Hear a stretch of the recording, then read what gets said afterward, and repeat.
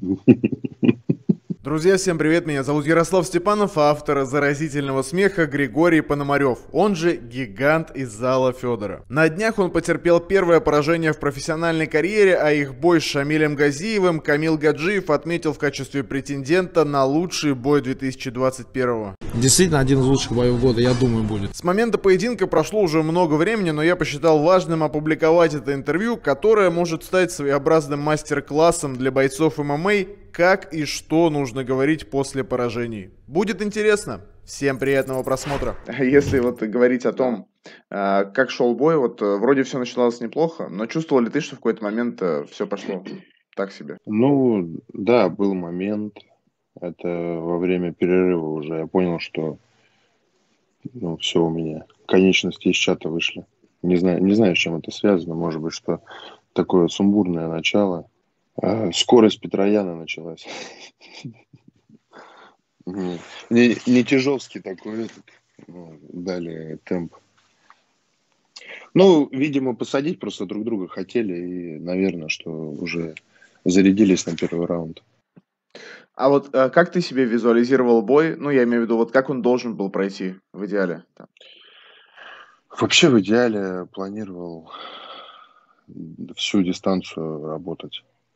Не знал, что так, такой, ну, такой напор будет.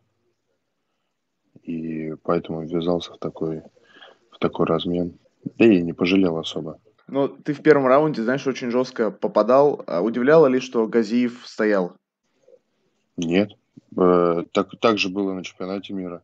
Правда, конечно, не столько ударов я попадал на мире, но все равно были моменты, которые... Ну, я тогда вот первый раз удивился, что хорошо попадаю, а он, ну, так, ну, терпит. В этот раз, ну, понятно было, что он не завалится от первого встречного. Вот у вас, да, был э, первый бой, получается, там несколько лет назад. А тогда вот он проходил, ну, я не знаю, более спокойно, вот там вся дистанция была, но насколько это была энергозатратная дистанция?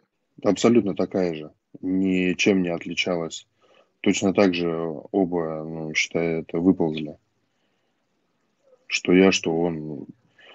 Друг для друга были мы такие прям тягучие. В перерыве между первым и вторым раундом, а, что ты думал что ты чувствовал, так скажем, если так описать состояние ментальное и физическое? Чувствовал, что, что я подустал, вот что я чувствовал. Что тут ментально-то думать еще? Не, конечно, я выходил, на самом деле, выходил, ну, до конца, что не это, не то, что сейчас я, ну, сольюсь, все, я так устал, что все, я все, типа, нет, у меня такого не было. А я, ну, выходил до конца, реально драться. Просто я в какой-то момент все уже, ну, мне уже, я пытаюсь руки поднять, они не поднимаются. Ну, то есть, да, из виду показалось, что, да, больше как бы это не там какой-то нокаут от того, что потряс тебя, а от того, что вот, усталость, да, накоплена. Да, да, да. Это вот от усталости, боже, это не было там ни нокаута никакого. Говорили, что после боя тебе вроде бы было не очень хорошо. Действительно ли это так? Ну, маленечко это... Ну, полежать захотел. Наверное, там давление поднялось, скорее всего. Полежал, попил. Еще голодный такой был. Жена мне колу принесла, я колы попил, и все. В себя пришел сразу. Ну, Шамиля сказал, что вот последние три года, с тех пор, как у вас прошел первый бой, он все эти три года э, только и делал, что ждал вот этот самый реванш. Знал ли ты об этом, что вот для него это было так принципиально в э, спортивном плане? Да я, да я откуда его знал-то? Ну, он меня же не оповещал никогда. Я, честно говоря, ну, как догадывался, что когда-то, может быть, мы встретимся. Но это такое прям 70 на 30 было. Встретимся, но не точно. Но я не пожалел. Даже с таким исходом. Это для меня такой, такой психологический толчок сейчас. Действительно, я понимаю сейчас, над чем работать. И так-то все нормально было. Но самый, самый главный он, самый главный мой недочет я увидел. И это не кардио, кстати, а другой недочет. И я в дальнейшем буду над ним работать. И это дало мне толчок, чтобы сейчас еще больше пахать и пахать правильно. Для чего пахать? Поэтому все еще впереди, все будет хорошо. Э, Камил Гаджиев называет этот бой претендентом на один из лучших в 2021. Там болельщики, ну, очевидно, довольны, что посмотрели такое зрелище и так далее. Вот может ли тебя это, ну, в том числе, утешать? Или лучше бы, знаешь, было спокойно победить и типа, не вызвать ни у кого восторга, но вот победу забрать? Не, а чем, чем себя утешать? Я, ну, проиграл, как сказать, но для себя я не проиграл, на самом деле. Я, я не упал, я не проиграл по очкам, меня не пробили, я просто устал. И поэтому там себя утешать, что это там лучший бой, ну, если так посчитают нужно, то, конечно, пусть делают это там лучшим боем года. Вот у тебя пропал тот самый нолик из графы поражений. Кто-то, наверное, переживает этот момент так болезненно. А как в твоем случае? Вообще, вообще нет. У меня нет вот этой, э, там, блин, даже слово такое подобрать не могу. Невероятную гонку вот эту устраивает за этим ноль, ну, ноликом. У меня нету этого. Такая весовая, с таким характером, с таким подбором бойцов э, на первом, ну, в начале карьеры и держаться за ноль это невозможно. Я считаю, что э, все-таки я очень сильно прям втыкаюсь, э, что ну, я не, не рассматриваю слишком бойцов, там, вот мне бы лучше с ним не драться, с этим бы драться, а вот с этим лучше не драться. Мне вообще все равно, вот, это Шамиль да Шамиль, там, там, казах тут тоже неплохой был, тоже, я не скажу, что так легко, вот, минута 20, и это было, ну, нет, на самом деле тяжелый бой был. И до боя было тяжело, и во время боя было. И был момент один, который мог бы там все перевернуть э, ну, на другую сторону. Вот, поэтому я не трясусь за этот ноль, короче. Сейчас, если оценивать, ну, ты провел три боя в рамках Гран-при, если брать вот этот бой и там сравнить подготовки к этому бою к предыдущим, а насколько, ну, так скажем, тебе удалось э, лучше или хуже подвестись к этому бою? Было ли у тебя что-то, что там могло, например, в тренировочном там, лагере пойти не совсем так?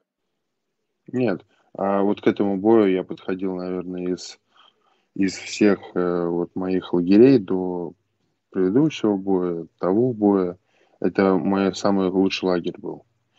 Потому что ко второму бою пацаны там уехали, э, по-моему, за две недели. У меня две, две недели до боя пацаны уехали на сборы в горы. Я не поехал, потому что тут эта акклиматизация бы началась. То есть я сам себя бы ну, замучил бы. Плюс поездки вот эти туда-сюда. Я не поехал, и я две недели, считай, был без спаррингов, без народа. Одни лапы были только. Там лапы, скакалки, и все. Вот у меня Рома Волошко со мной был. А на декабрь, на декабрь, когда я готовился, там тоже такой, конечно, моментик был, что, во-первых, и время мало было, после болезни, плюс еще, что, ну, все, все, наверное, знают, для кого не секрет, что тогда все переболели. И, ну, очень тяжело. И поэтому после болезни было восстанавливаться, ну, достаточно так. Плюс там э, был, поехали на ЦФО маленько, руку подбил. То есть не профессионально маленько подошел. Короче, в прошлых боях было больше предпосылок с таким не самым хорошим кемпом. Да, да, все, все равно какое-то дерьмо там случается всегда.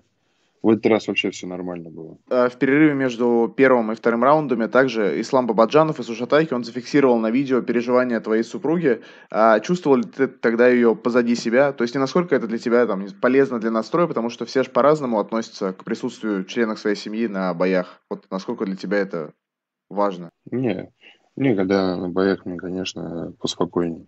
Я еще выхожу в клетку, еще я постоянно ищу. Она мне всегда чик маякует, типа, я здесь на месте. Не, на самом деле для меня, ну, прям, это большой толчок, когда она со мной. Это э, очень вдохновляет. Ну, конечно, не важно, там, победа, там, поражение, все равно, как бы, ну, в душе, что она рядом. Я не один. А, успел ли ты получить какую-то обратную связь от Федора после этого боя? Нет, мы еще с Федором не разговаривали по этому поводу. У них там своя подготовка, они готовятся, пока ну, друг друга не трогаем. Я только разговаривал с тренером, там, с Сергеем Листартовичем, э, с Вадимом разговаривал. Пока все. А что тебе со стороны вот сказали как раз твои тренеры? А, то есть вот что они увидели, например, из того, что ты, может быть, э, не заметил? Ну, маленько, что не по плану начал работать, опять же. А, так, в принципе, бой хороший сказали. Работать есть над чем. У тебя, кстати, не было проблем с тем, что ты как раз перед боем говорил, что там главный совет от Федора был, типа, включай голову. А, ну, включил ли ты голову в этом бою? Да, и выключил. Потом опять включил и опять выключил. Кнопка заела где-то, короче, в каком-то моменте. Может, провалилась.